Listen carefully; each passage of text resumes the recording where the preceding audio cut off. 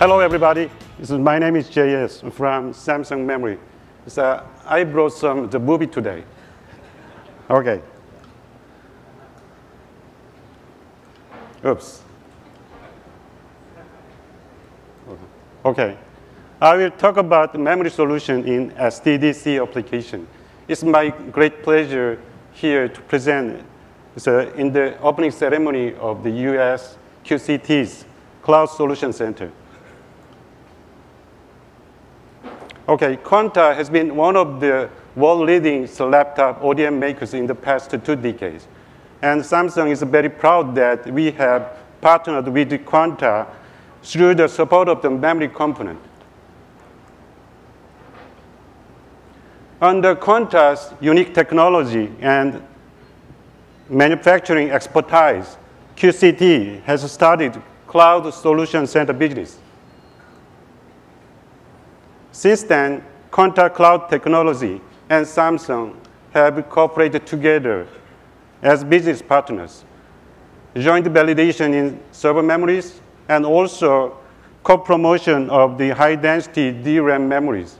And also, it's a kind of the, it's a supplying the leading-edge enterprise SSD would be a few examples. Okay, if somebody were asked to name one thing that dominates our life more than ever before, data would be the one of most popular answers. We have numerous connections, man-to-man, man-to-machine, machine-to-machine. Also, the object of transmission has evolved continuously it's from, it's a kind of the data.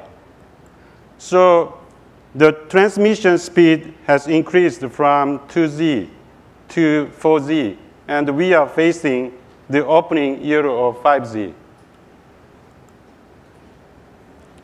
As a result, so we are expecting around 10 billion devices to bring 190 exabytes of data traffic in 2018. So, so you know what? Five exabytes is the equivalent amount of all words and all the sounds that the human beings have ever made in the history. Huge, right?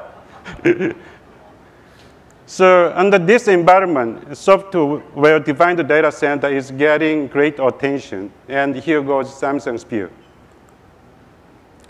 Software-defined data center utilize a set of virtual machines to process huge data traffic.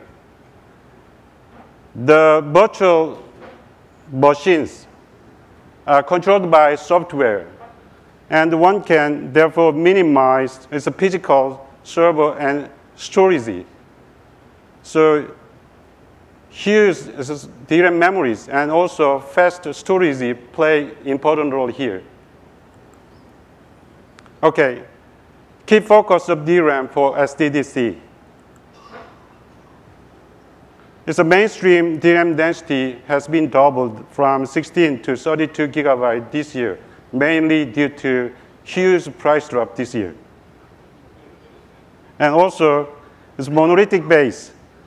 Samsung is going to introduce and prototype 16 gigabit single chip probably next year. For speed, its current DDR4 can achieve up to 2100, 2400 something this year. But the Samsung TSV technology can support up to 3200 Mbps. Power is also important.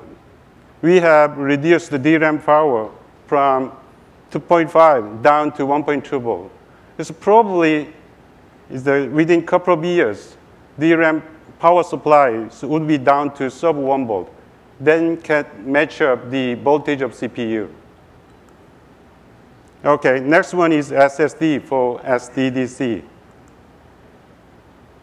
This one is very, very important for QCT, right? for storage, every time Samsung's base goal is cost reduction. Currently, is with the introduction of the 3-bit NAND technology, is we could provide extremely low-cost SSD to the cloud market. Next one, performance.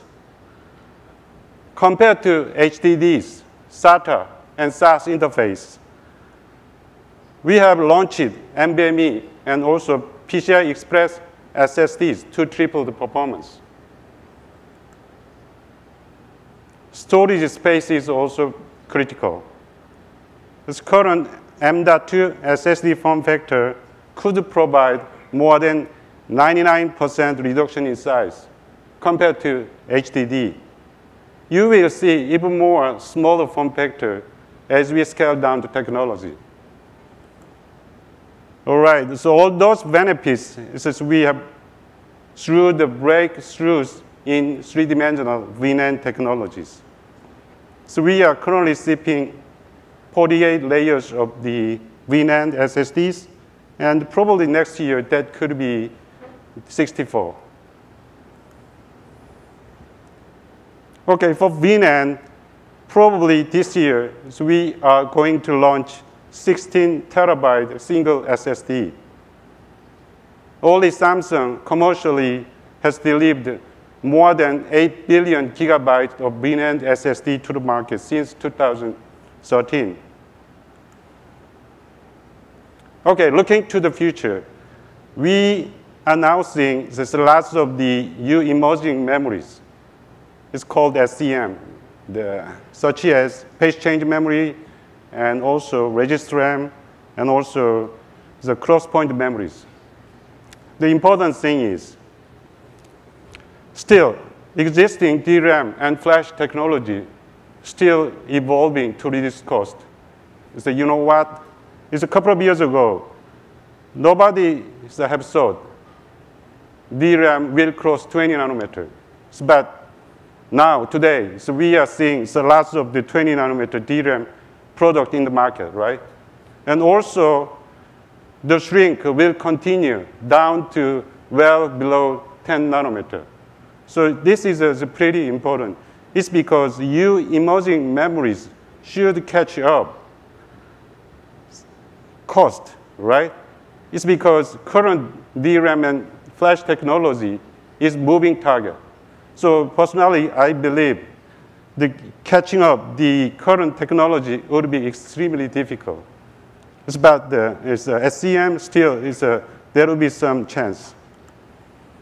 All right, this is my conclusion. Samsung will never stop scaling existing proven DRAM and flash technologies. Samsung will do our best to support QCT and to deliver best core value to the end customers.